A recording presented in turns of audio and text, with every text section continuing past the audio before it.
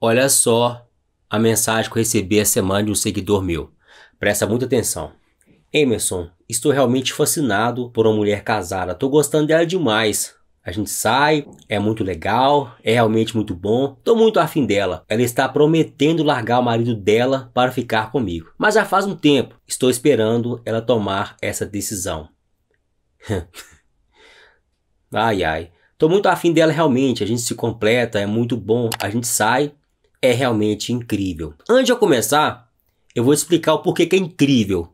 Não tem responsabilidade nenhuma, não paga contas, só sai pra ó. Aí, meu amigo, é delícia mesmo. Tá se iludindo à toa. Não sei mais o que fazer.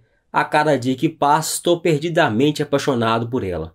Que pena ela ser casada. É, e que pena você não ter vergonha na cara. No vídeo de hoje eu vou te contar o que pode te acontecer se você vier a se envolver com uma casadinha. Tá afim de saber? Cai dentro.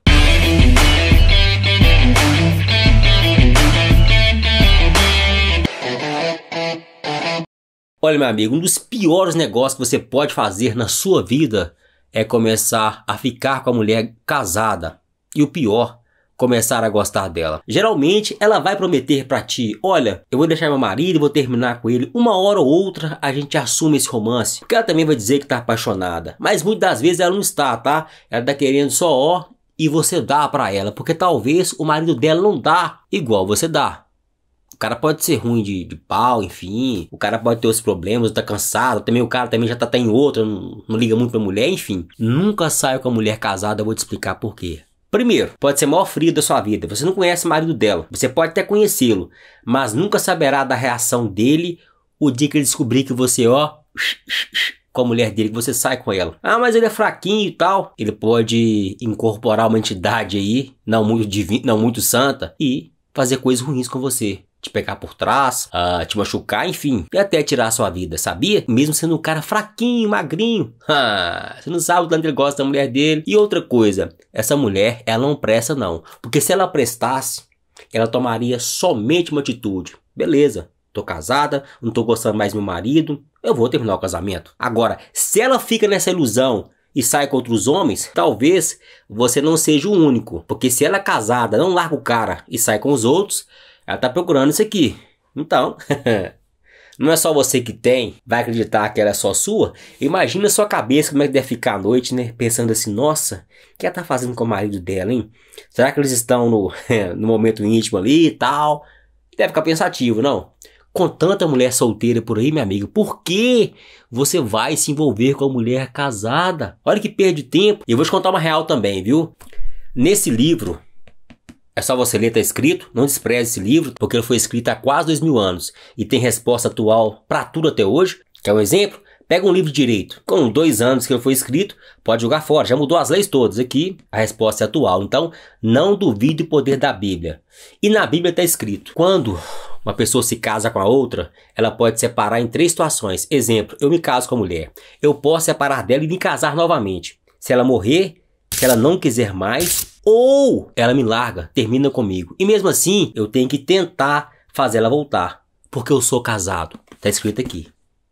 Em qualquer outra situação, se eu vier me separar dela, eu estarei em adultério se eu vier a me casar novamente. Eu e a mulher que estiver comigo. Tá escrito, é só você ler. Pergunta o pastor, pergunta o padre. É seu caso. Mesmo que ela largue o marido dela, você, diante de Deus, diante da Bíblia, estará com a vida condenada Está lá em Apocalipse. Eu tenho fé. Você tem? E outro detalhe muito importante que você deve pensar. Olha para você ver como é que o casamento é sério. Reuniram as duas famílias. Foram todo mundo para a igreja. Ela jurou fidelidade para o marido dela diante de Deus, na alegria, na saúde, na doença, na tristeza, enfim. Ela jurou estar do lado dele o resto da vida. Se ela trai ele e Deus, garantir que você vai ter que se você assumir essa mulher para você mesmo, que ela não vai te trair lá na frente. Tá achando que você tem isso aqui de ouro? Não tem não, é ilusão sua. Não faça isso, meu amigo. Ah, mas a mulher casada tá mexendo comigo no trabalho e tal. Tira ela. Fala assim aqui, eu não tô afim, me respeita, eu não gosto de ficar com mulher casada e tudo. E se ela começar a dar no seu pé, te impregnar, meu amigo, fala assim, ó. Vou pegar o meu celular, vou descobrir o telefone do seu marido e vou chamá-lo para bater um papo. Vou até mostrar as mensagens que você me manda no meu WhatsApp.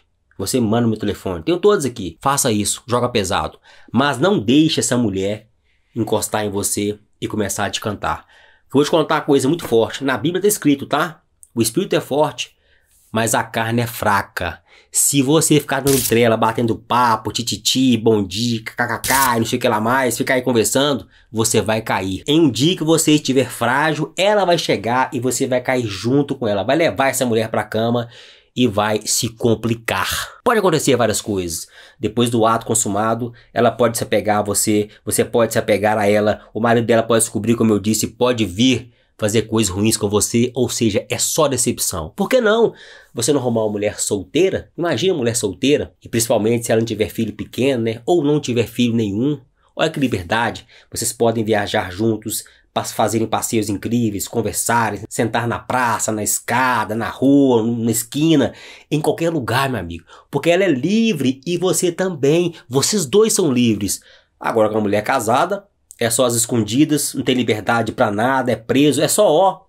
Vale a pena? Vale a pena você ficar preso na sua cabeça de baixo? Não vale a pena, não. O máximo que vai te trazer, chega mais, são problemas.